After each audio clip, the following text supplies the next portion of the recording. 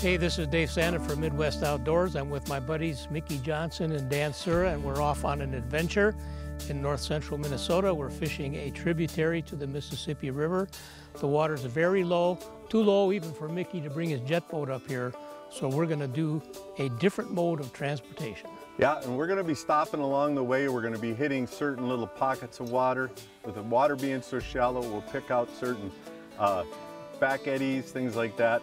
It'll be very good. It'll be interesting. We'll catch topwater fish and, you know, regular streamers and some of the And- other equipment. And we're doing it all in one-person pontoons. It's a new one for Dan and I.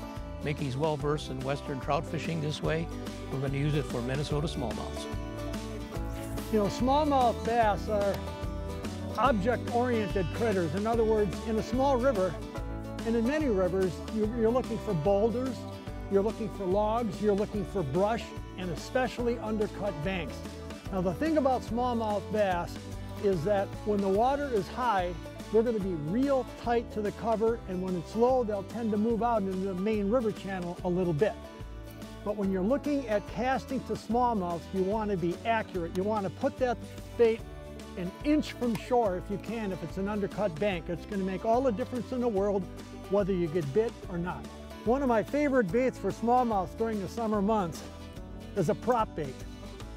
And these are absolutely deadly on smallmouth.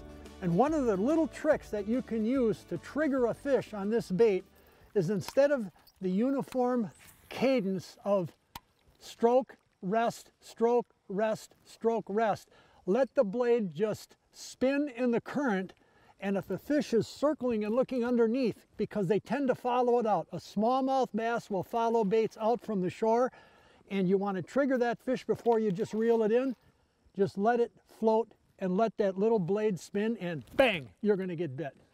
Well, you know, when you go on one of these types of floats and you're out on a small river and you're going to be on the water for a good amount of time and you aren't going to be able to get on and off. And you can't carry as many things, but you need to carry some things with you. So you can readily change out lures or flies. So you can also replace line. Bring extra line just in case you get stripped off and you can't go back and do anything else with it. You want to make sure you bring some food with you, some snacks, and plenty of water because if you get caught out on a hot day on one of these rivers without water, you're going to become dehydrated and it isn't going to be good for you. You need to make that difference and think ahead a little bit. One of the things that I like to do if I'm fishing a new stream or river or sometimes even a lake is to be able to just reach down, pick up a rock, look at the bottom side of the rock and be able to see things like this is a small leech that was stuck on the bottom of the rock. The other things that you commonly find are like um, case caddis. You know, there's like a little caddis case and the caddis is inside of that and it pulls up everything around it. But a lot of times you'll find such a variety of things that it gives you a good idea of what you might use to catch, whether it be panfish or even, you know, to imitate some of the bait fish that these smallmouth are feeding on.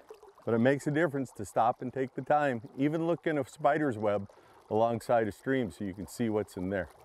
River tackle is very basic. You don't need five and six rods and reels. You can generally make the trip with two rods. Number one, a bait casting outfit. Seven foot medium action spooled with 10 pound Sufix will do the job for all your topwater fishing. When it comes to the second rod, I like a throwback rod and a lot of times I'll throw a grub and this is a seven foot medium action rod just spooled with 10 pound Sufix.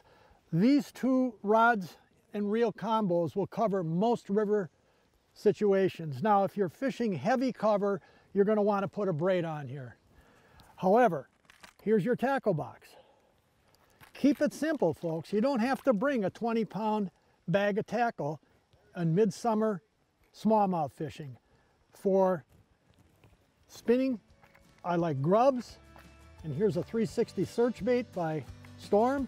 And one of my all-time favorites, as I mentioned earlier, the old prop bait.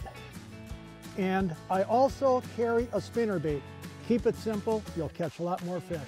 Yeah, it's really nice when you get down to some of these stretches on the river when things are, you know, remote enough, but you know, you, you take them when you can get them and you get nice smallmouth hitting on top and sucking in your presentation.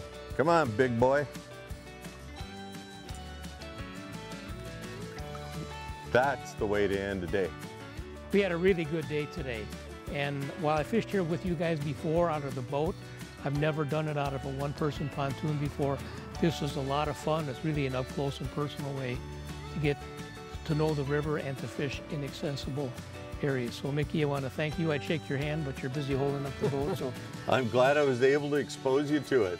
very good. For, for myself, for Dave Csanda, Dan Sura, and Mickey Johnson, for Midwest Outdoors, stay tuned.